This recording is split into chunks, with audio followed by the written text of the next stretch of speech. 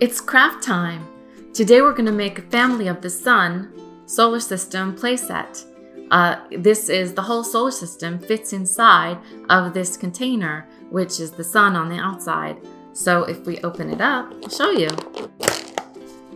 So there's the sun, and then we have Venus,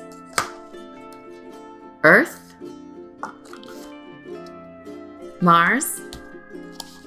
Here's little Ceres from the asteroid belt. Giant Jupiter. Saturn. Uranus and Neptune. And of course, little Pluto and the icy worlds. You can play with these on a tabletop or on the floor, and then when you're finished, they go right back into the container to be put away next time. Now, to make this uh, craft activity, all you need is a takeout container like this one. You need some lids uh, that you save uh, from different things that you've eaten or used. And you need some paper, uh, your tape, and your scissors, and some crayons or markers to color in your planets.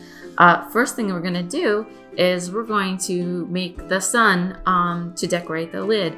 So um, you need for that uh, to, to make a big circle. And to make a really good circle, you can just trace around the outside of the lid. So take your lid, place it on your paper, just like this, and then you can use your crayon to trace around the outside.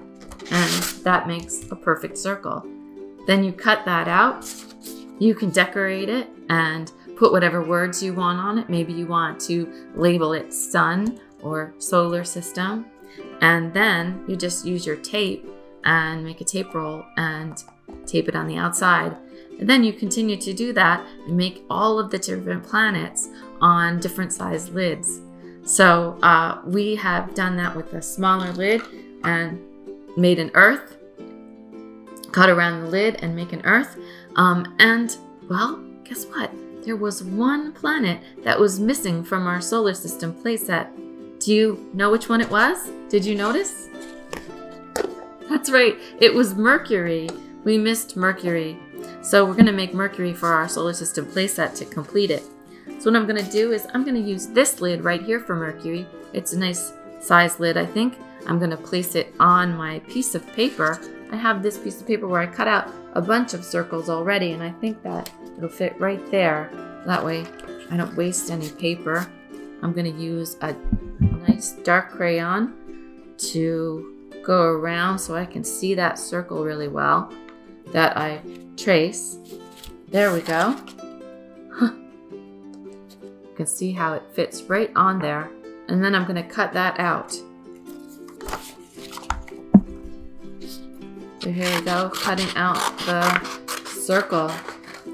You can decorate the circle first before you cut it out if it's easier for you, or you can cut it out and then decorate it afterwards. So there's my circle and it fits right on the lid. Uh, now I might want to uh, color it in and uh, I like to color it in a purple color. That's one of my favorite colors. And I even put a little face on it and I labeled it Mercury. Now I'm gonna just tape that right on to the lid using my tape. I'll make a tape roll like that and put that on the back of the tape of the of the paper and then I'm going to put that on the lid like this.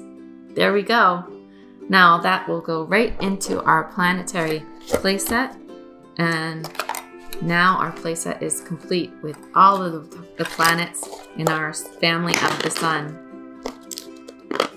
I hope you enjoy this fun craft activity. Uh, if you want to show us your crafts that you make, you can use the hashtag air and space at home or you can tag our Facebook page and uh, we'd love to see what you create using um, these ideas that we're giving you.